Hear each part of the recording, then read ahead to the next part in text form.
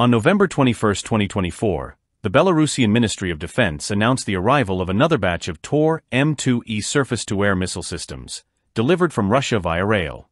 These systems have been upgraded by Russian engineers based on operational experiences gained during recent military operations, particularly those involving Ukraine. Modifications have focused on improving the system's ability to counter smaller aerial threats, such as drones. The new battery is expected to be deployed soon to provide enhanced air defense coverage for the Belarusian capital Minsk.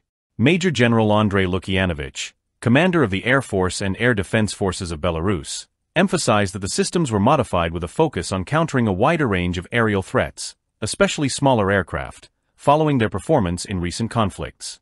Colonel Andrei Severnchik, chief of the Anti-Aircraft Missile Troops Directorate, highlighted the Tor M2E's key features, rapid reaction times, high mobility, and the capability to engage a variety of airborne targets. This delivery exemplifies the ongoing military technical cooperation between Belarus and Russia, further solidifying their unified regional air defense system. This acquisition is part of a broader defense cooperation initiative between the two countries, which also includes joint training and military exercises.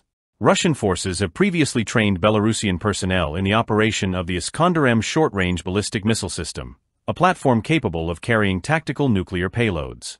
Belarus continues to align itself closely with Russia on regional security issues, including its role in the Collective Security Treaty Organization, CSTO, a defense alliance comprising several former Soviet republics.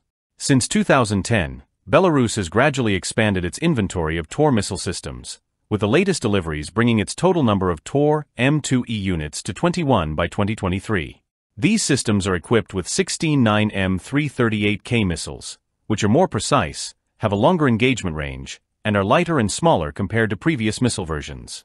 The advanced missiles are designed to operate in challenging electronic warfare environments and are particularly effective against large-scale aerial attacks.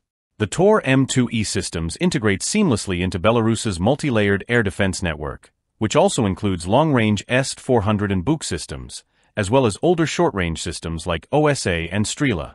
Belarus's Air Force and Air Defense Forces, which consist of about 10,700 personnel, are organized to operate in close coordination with Russian forces. This collaborative defense strategy is formalized in the military doctrine of the Union State, a bilateral agreement between the two countries revised in 2021. The Tor M2E is designed to provide rapid short-range air defense for high-value targets. It can engage up to 16 targets simultaneously, from any direction, including high-speed objects traveling at up to 730 meters per second.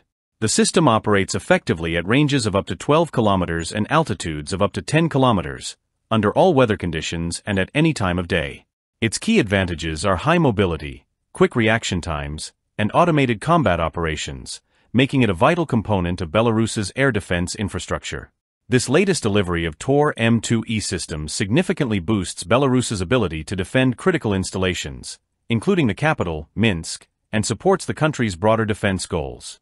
Belarus's defense industry continues to focus on manufacturing military vehicles, guided weapons, and electronic warfare systems, though it remains reliant on Russian technology for more advanced air defense solutions like the Tor M2E. These systems are expected to play a crucial role in countering modern air threats and strengthening Belarus's territorial security.